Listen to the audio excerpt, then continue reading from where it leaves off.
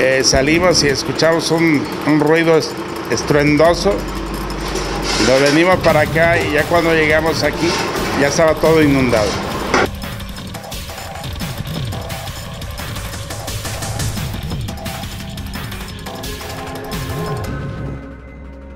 Entonces fue, fue rapidísimo.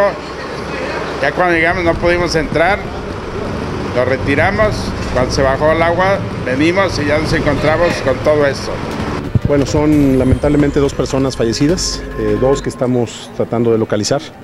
Eh, no tenemos todavía eh, cuantificado los daños materiales, pero quiero decirle a la población afectada que lo material será un asunto que ayudaremos a recuperar, que, que pueden estar tranquilos en ese sentido. Eh, porque me llamaron de una, mi hermano y mi hermana, este, que estaba eh, saliéndose el río en la parte de hacia arriba, este, y que nos saliéramos, pero pues no nos pudimos salir. Cuando nosotros nos asomamos a la puerta, el agua ya estaba aquí. El agua, teníamos el nivel a la cintura, cuando llegó su máximo nivel lo teníamos al cuello.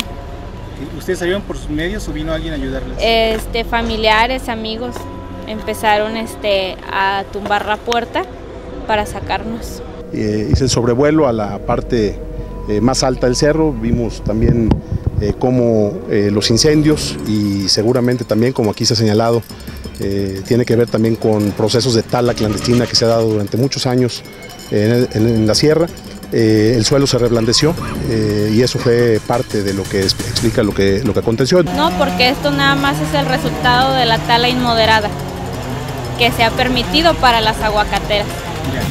Hasta ahora he preguntado a la gente que tiene toda su vida acá, pues nunca había pasado y creemos que tiene que ver con muchos factores. No eh, vamos a, eh, meternos a especular en ese sentido porque ahora lo más urgente es garantizar la seguridad de la, gente, de la población, pero por supuesto que eh, cualquier medida correctiva, cualquier acción que se tenga que hacer ante algún problema que pudiera explicar lo que sucedió el día de hoy, lo que sucedió el día de ayer, vamos a tomar las medidas necesarias.